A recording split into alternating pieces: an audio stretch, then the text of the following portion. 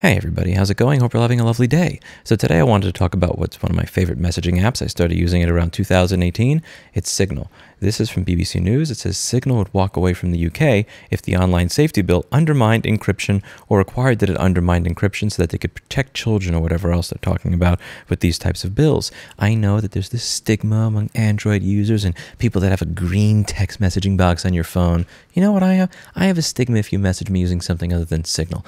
I'm so cool that I require you to install Signal if you want to text message me. I am not communicating with you with iMessage or Green Bubble SMS all that. But in all seriousness, this is why I really enjoy using Signal. Before I go over this, I just figure I should get any sort of biases or conflicts of interest out of the way. At this point in time, I'm employed by one of the co-founders and co-investors in WhatsApp, who was good friends with Brian Acton, who went on to start the Signal Foundation, which is why we have Signal to begin with. So that is an obvious conflict of interest. However, to be clear, I was using Signal for several years before I met him or knew any of these people.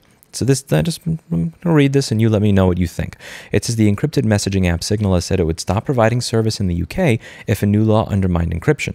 If forced to weaken the privacy of its messaging system under the online safety bill, the organization would absolutely 100% walk, Signal president Meredith Whittaker told the BBC good job, Meredith Whittaker. That's exactly the right stance to take. It is not to kowtow the line. It is not to do what Aaron said they did with Yahoo Pool back in the 90s, where, you know, if somebody started talking about uh, Tiananmen Square in China while they were playing Yahoo Pool, maybe that game, you know, maybe that, that wouldn't be allowed. It's not to do what Google does, which is restrict some of the search elements if you're in a country where they may not have the idea of freedom of speech that we have in America. It's just to walk. Like, no, we have principles, we are sticking to those principles, and we are not going to sell out our users for your government.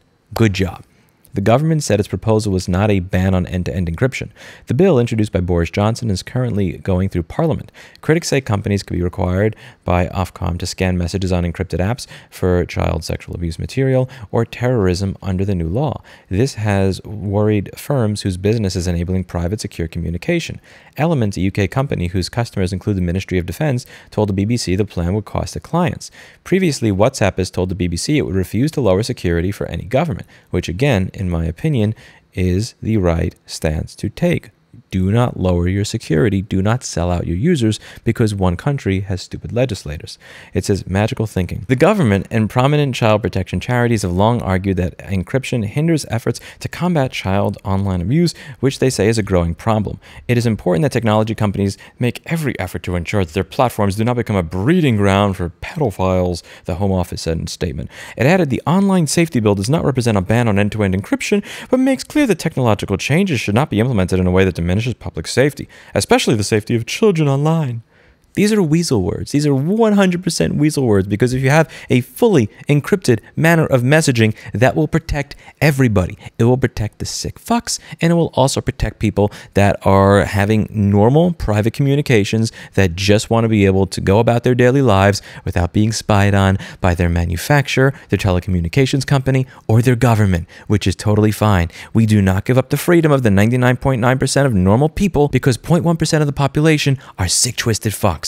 That's not how this works. We do not give up freedom for everybody because a few people suck. It's not a choice between privacy or child safety. We can and we must have both. Child Protection Charity, the NSPCC, said in reaction to Signal's announcement, tech companies should be required to disrupt the abuse that is occurring at record levels on their platforms, including in private messaging and end to end encrypted environments. And here is the point at which I genuinely love the response that Meredith made. This is why Meredith Whittaker is awesome, and I hope she continues to be the president of Signal, and I think that she kicks ass. There's no one who doesn't want to protect children. Some of the stories that are invoked are harrowing. When asked how she would respond to arguments that encryption protects abusers, Ms. Whittaker said she believed most abuse took place in the family and in the community, where she argued the focus of efforts to stop it should be. Damn straight. So, if you want there to be less child abuse, how about instead of going over what 99% of the users are using for legal private communications, how about instead of trying to ruin the entire fucking internet that I reject that premise entirely and say that if you cared about this type of thing, if you cared about pedophile rings and all this other stuff, that you would look at what is going on in your own community, that you would look at the family dysfunction and everything else that makes this possible. Meredith pointed to a paper by Professor Ross Anderson, which argued for better funding of services working in child protection and warned that the idea that complex social problems are amenable to cheap technical solutions is the siren song of the software salesman. It's similar to the defense that I think that people should start making when it comes to the automotive manufacturers saying that mechanics want to steal the data from your car so they could advertise to you, this, that, and the other, instead of saying, no, that's not what we want to do. No, we're really good mechanics. We're not going to do anything like that. Instead of cowering away and accepting their premise, how about you say, why is my car collecting data on me to begin with? And how about you give me the option to stop it? See, what she did is she went on the offensive. She did not accept the premise of assholes, which is why she is an incredibly effective communicator and an incredibly effective president of Signal, an application that is going to have many, many hit pieces written on it, like this piece of garbage that came out in the New York Times two months ago. That's why I'm happy that places like the Signal Foundation have such effective communicators. But back to the point that I left off at in the article. The digital rights campaigners, the Open Rights Group, said it highlighted how the bill threatened to undermine our right to communicate securely and privately. Ms. Whittaker told the BBC it is magical thinking to believe that we have privacy, but only for the good guys. True. She added, encryption is either protecting everyone or it is broken for everyone. True. She said the online safety bill embodied a variant of this magical thinking. Signal has over 100 million app downloads in the Google Store alone. It uses end to end encryption, a system where the messages are so scrambled that even the company operating the service cannot read them, which is how it should be. Operated by a Californian based not for profit organization, the app's users include journalists, activists, and politicians. WhatsApp also uses end to end encryption, as does Apple's iMessage system and optionally Facebook and Telegram. Apple had proposed a system where messages sent from phones and other devices would be scanned for CSAM before being encrypted, but abandoned the plans following a backlash.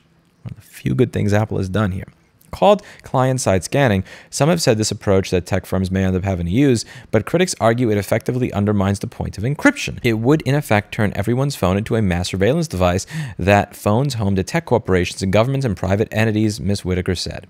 True.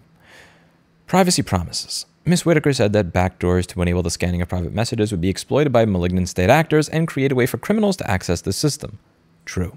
Asked if the online safety bill could jeopardize their ability to offer a service in the UK, she told the BBC, it could, and we would absolutely 100% walk rather than ever undermine the trust that people place in us to provide a truly private means of communication. We have never weakened our privacy promises, and we never would. Right answer. Ding, ding, ding, ding, ding. This is why when people ask, How do I communicate with you? and I say, You install Signal, I am proud that that is the app that I am using for most of my communications.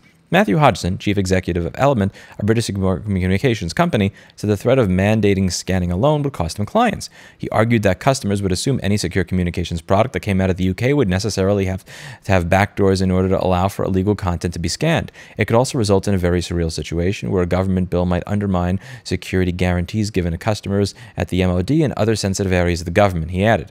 He also said that the firm might have to cease offering some services. This is an organization that I think actually uh, walks the talk and gives a crap about privacy. And again, is why I'm happy that I use this for my communications. If the UK passes this bill and Signal says I would support them 100%. And I think people in the UK should let their politicians know that they are trying to undermine the foundation of what allows private communications to try and catch 0.00001% of the population, but they're probably not even going to catch at the expense of privacy for everybody. In the future, somebody, some bad state actor, again, I, I, just want you to imagine this like in your heart of hearts, if you're somebody who is trying to run a business in 2020 in California, somebody looking up how to get an abortion in Texas in 2023, do you really want there to be a backdoor built into an encrypted messaging application? No. Let me know what you think in the comments down below. That's it for today. And as always, I hope you learned something. I'll see you in the next video. Bye now.